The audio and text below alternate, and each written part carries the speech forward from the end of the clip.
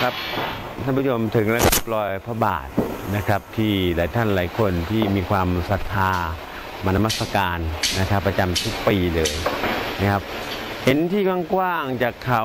ที่ลานพระศิวลีขึ้นมาจนถึงข้างบนเนี่ยนะฮะเนื้อที่กว้างพอสมควรพื้นที่ยาวหลายกิโลทีเดียวนะฮะเป็นกิโลถึงจะไปถึงผ้าแดงเลยเข้าไปนู่นนะฮะแต่ว่าผู้คนในถึงเทศกาลที่นมัสการ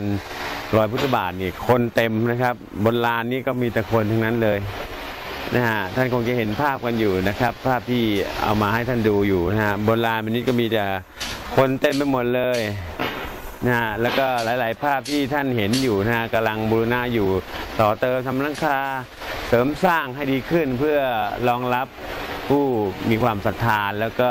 ผู้ที่นมัสการรอยพระบาทของปีนี้แหละนะครับ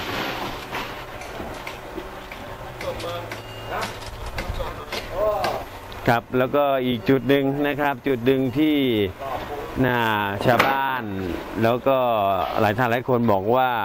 เมื่อครั้งหนึ่งนะฮะมีคนตกไปช่วงนี้นะฮะช่วงที่ที่เขากำลังก่อสร้างอยู่ข้างล่าง แต่ช่วงบนเนี่ยนะคนพัดตกลงไปนะครับ ตกไปข้างล่างที่ไม่เป็นอะไรเลยนะ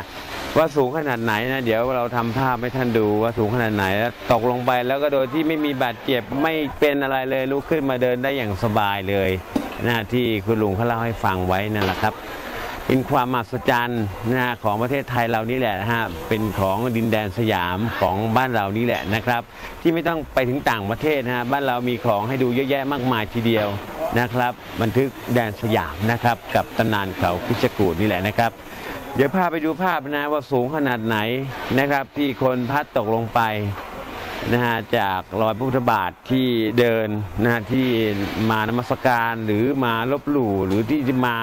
อะไรสิ่งไม่ดีของบนยอดเขาพิชกูดรอยพระบาทเนี่ยนะฮะที่เกิดขึ้นกับตัวบุคคลคนนั้นนะครับ ไปดูภาพจริงครับ